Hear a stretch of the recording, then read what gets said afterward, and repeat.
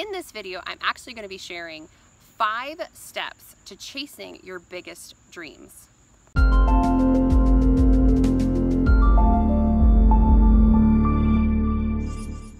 Hey, hey, it is Jessie Richards from jessierichards.tv. I help busy moms create a lifestyle and an ultimate business that you are excited and eager to share with others. And today I have a really fun story to share with you because I generally hit the pillow and I am out for the night. And if you can relate as a busy mom, I'm sure you know what that feels like. So you're going running all day long and the end of the night it's like I need my pillow, I need my bed. And generally I don't have a problem going to sleep nor do I have a problem staying asleep but the last couple nights were different and it's all going to tie into a topic that I'm really excited to share with you. But first I want to share a story. So like I was saying I never have a problem falling asleep or staying asleep but for the last three nights, I have woken up at the exact same time every single night. What is going on? so I was waking up consistently at 4.40 every night. And the first night I'm like, okay, it's a fluke, maybe something's going on. The second night I was like, what is up with this? And I pulled out my phone and started searching on Google. And what I started to realize was there was some consistency in if you have a problem waking up at the same time every night. If this has happened to you, um, you probably did what I did and started looking online. If it hasn't happened to you, listen up because I'm gonna save you some time. so when I was waking up and trying to figure out why the heck am I awake, like wide awake and not being able to go back to sleep, what I came to find was depending on the time that you're actually waking up, um, it actually plays a factor into some really cool things that are happen happening inside of your body. So for me, there was a 3 to 5 a.m. window, and it was all about um, how your body actually like repairs itself. Um, and during that time, it's the lungs that actually are being restored and repaired while you sleep. And I personally have asthma, and so I was like, well, that's kind of an interesting thing and something that caught my attention. And the um, the articles that I read were actually talking about um, one, it could be literal, you know, and and I made sure, okay, I'm not wheezing, I'm not having any other symptoms for my asthma. Um, and so I kept reading on for and searching for answers. And what I came to find was that there was actually a lot of people talking about um, it could be more of a metaphor and breathing life into your business, into a passion of yours. And really, it's a higher power trying to communicate that with you. So being an entrepreneur, being a mom, very busy mom, I was like, what am I missing? What is this higher power trying to tell me that I don't know yet? So after three consistent nights of no sleep, I was like many moms, right, um, that work from home. I was taking a shower after I'd gotten all my kiddos to bed. It was about 9.30 at night. And really, it hit me like a ton of bricks. So I was in the shower.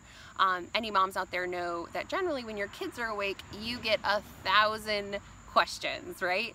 And for me, uh, it's like no other. Like my boys are either wrestling or they're asking me a million questions or they're suddenly hungry, right? And um, so that particular night, I had no interruptions. So I wasn't thinking about anything in particular. And I'm in the shower, I'm shampooing my hair, and it hit me and I am really excited because I'm going to be sharing more about this aha moment and what hit me in future videos and I'm super excited to share that with you. But it really leads me into today's topic. Since having the aha moment in the shower, I am sleeping so soundly and back to my normal self. So today's topic, I want to talk to you about five steps to chase your dreams. So number one, you want to envision your dream in vivid detail. You want to be super precise because if you don't know what you want, how can the universe attract it for you? And then number two, you want to write it down and you want to be super crystal clear in the vivid details of writing it down.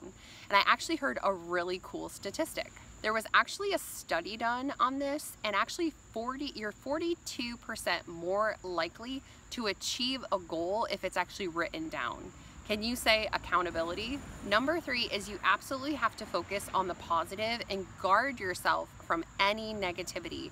So there are going to be naysayers. Even when I came up with this aha moment and this really exciting new venture, I immediately had some optimistic thoughts and I had some negative thoughts. And honestly, it has to be a leap of faith for you when you're thinking about your dreams and your goals because if you don't do it, someone else will. Number four is you want to be very, very selective on that inner circle. So, especially when you're growing a business, when you're focusing on your dreams, when you're trying to better yourself, it's so important to think about the people that you're surrounding yourself with.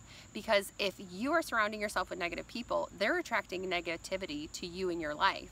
But if you're surrounding yourself with people that have what you have or are on a similar journey as you and attracting that, your success is golden and you're attracting that because you're putting it out into the universe. Number five, lead your life in courage and take action. It is so crucial. Once you have these aha moments, once you think about something monumental that could really affect and help your business, I want you to take action on those. So when I had this aha moment, I was like, I don't even know where to start, right? I've got so many ideas coming to me, and it's important, right, that you have that vivid detail. What is the end goal, right? And what are the steps in between that really can help you to get to that end goal? And so it's super important when you're thinking about um, achieving those goals and achieving achieving those dreams. What is going to get you from A to B? Say it with me. Action! so take those dreams, take those goals, and put them into action. Big goals take action takers, okay? It is so important when you are looking at these big goals and these big dreams. It's okay to get intimidated. It is okay to feel a little overwhelmed. I mean, you're human. But if you really want more for your family and more out of life, and you have these amazing goals and these amazing ideas, I mean, let's face it, somebody thought of the pool noodle, right? You have to put them into action. You have to implement that idea so that you can really see it for yourself. And, you know, some ideas are not so great, but if you don't know and you don't put it into action and give it a chance, you'll never know if it, that was your golden gem, if that was the diamond in the rough. So I encourage you, take these five steps, chase your biggest dreams, map it out in great detail, and take action. This is Jessie from jessierichards.tv. If you got value from today's video, please share it with another mama that needs to hear this message. We all have big dreams and we maybe don't know how to put them into action, but a few simple steps and I guarantee you're well on your way. So have an amazing day and we will see you on the next video.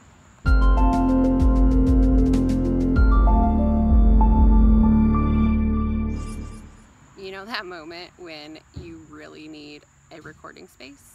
This is the no excuses blog here, ladies. I literally have cars driving in the background, okay? If I can do it, you can do it.